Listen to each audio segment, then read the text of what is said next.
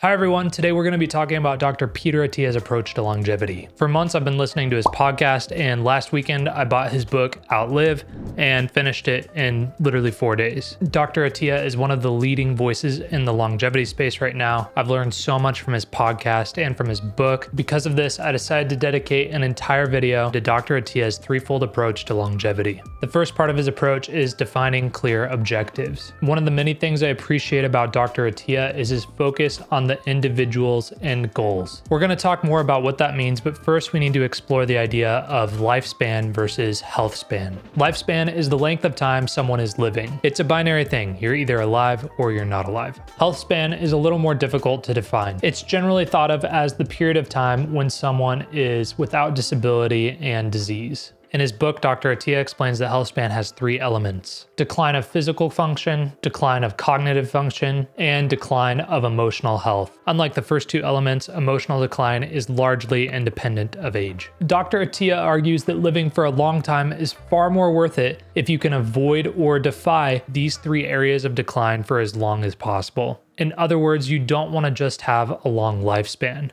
You want to have a long health span as well. Okay, back to objectives. Dr. Attia has this concept called the marginal decade. Your marginal decade is the last 10 years of your life. For most people, this is a period of lower life quality. Your physical function has declined and your cognitive health is starting to decline. But what if you could change that for yourself? What if you could have a remarkable marginal decade? And what would that look like for you? Dr. Attia has his patients think really carefully about what they would like to be able to do during the final 10 years of their lives. For instance, do you want to go on long walks every day? Do you want to be able to take your dog for a walk? If so, what kind of dog do you want to have? It takes a whole nother level of strength and stability to walk a husky than it does to walk a chihuahua. Do you want to be able to cook for yourself and do laundry for yourself? Do you want to be able to pick up and play with your grandkids or maybe your great grandkids? By defining your objectives, the things you'd like to be able to do in your marginal decade, you can better prepare for that marginal decade. I think this is really important. Everyone's objectives for their marginal decade are going to be a little bit different. There's no one size fits all solution. My objectives are going to be different than your objectives, and we'll have a few similar things, but our objectives are going to inform the rest of what we do. This leads us to the next component of Dr. Attia's threefold approach to longevity. In his book, Dr. Attia writes To achieve our objectives, we first need to have a strategy, an overall approach, a conceptual scaffolding or mental model that is informed by science, is tailored to our goals, and gives us options. Let's think about tactics versus strategy. It seems like we live in a culture where most people want to skip strategy and go straight to tactics. It seems like people want someone to tell them consume this type of olive oil, avoid canola oil, eat this amount of protein at this exact time, do this exercise for 27 minutes every day, and you'll burn all of your body fat. These are all examples of tactics. Without strategy or knowing why you're doing what you're doing, then you're likely to just jump from one fad diet to the next fad diet and never achieve sustainable results. If our objective is to have a remarkable marginal decade, then as part of our strategy, we need to understand what keeps most people from having one. As people age, they become increasingly vulnerable to chronic diseases. Dr. Attia goes on to explain that if you want to live longer, then your objective should be to delay the onset of chronic disease as long as possible. What you want to avoid is figuring out how to live longer once you already have a chronic disease. There are four broad categories of chronic disease that Dr. Attia calls the four horsemen. The first is metabolic syndrome. This ranges from insulin resistance to type 2 diabetes. Here's a fact that blew my mind. In the 1970s, the average American male weighed 173 pounds. Now the average American man tips the scale at over 200 pounds. What's wild is that if you meet the qualifications for having metabolic syndrome, it doubles your chances of dying from the other three horsemen. The second horseman is heart disease. This includes heart attacks and stroke. In the US alone, this accounts for 2,300 deaths daily,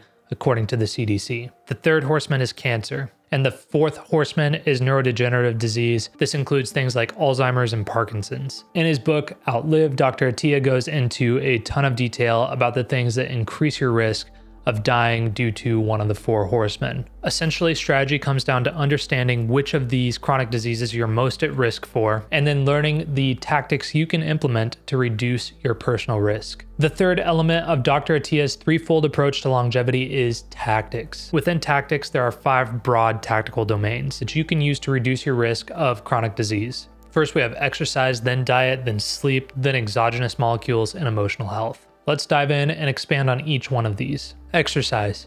Something that blew my mind in the book was a study that Dr. Attia cited. Apparently, being unfit carries a greater cardiac risk than any other risk factor. This means that not being physically fit puts you at more risk for death than smoking. Dr. Attia's approach to exercise is not about helping you get a faster marathon time or get bragging rights at your gym. It's about helping you live a longer and better life. Because of this, he breaks exercise down into three broad categories. First, you have cardio, which mainly includes zone 2 training and VO2 max training. Then comes strength training. This is about building muscle. The third category is stability. Stability training helps prevent injury and improve your form across all other exercises. If you want to learn more, check out Dr. Attia's podcast or get the book or go to his website. The next tactical domain is diet. If you're like me, you've probably tried a number of diets keto, slow carb, veganism, high protein, low fat, the list goes on. Something that I find interesting when it comes to diet is there are a number of people that have almost this religious zeal around which diet is the best diet.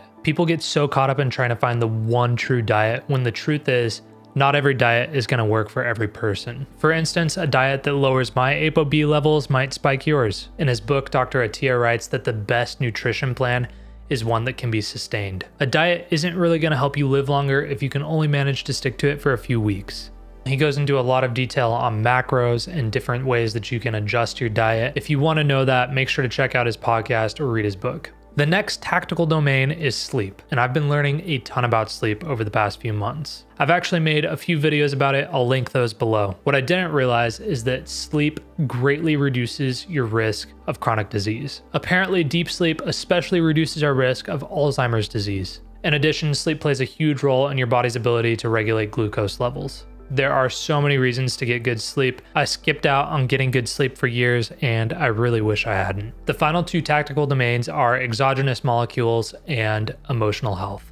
Exogenous molecules include pharmaceutical drugs, supplements, hormones, etc. Dr. Attia doesn't really spend too much time talking about these in the book. I've heard a few podcasts where he talks about them a bit more, but they don't seem to be a huge component of his approach to longevity. As mentioned earlier, the final tactical domain is that of emotional health. Say that you got everything else right and you ended up living to be 120. Is it really worth it if you get there depressed and emotionally unhealthy? The final chapter of Outlive focuses on emotional health and it hit really hard. For a long time, I've thought of myself as a fairly emotionally healthy person. This final chapter made me realize that I have work to do and that I need to reevaluate some of my priorities. That final chapter is especially worth reading. Let's do a quick recap of Dr. Attia's approach to longevity. It all starts with defining your personal objectives. What do you want your marginal decade to look like? Then we move to strategy. What does my risk profile look like and how can I reduce that risk? Then we move to tactics. How can we use exercise, diet, sleep, and exogenous molecules to lower our risk of chronic disease. If this video was helpful to you in any way, I'd really appreciate it if you gave it a thumbs up. Leave me a comment if you have any questions and I'll do my best to get back to you. If you want to see how I apply these things to my life, make sure to follow along. Thanks for watching and I'll see you in the next one.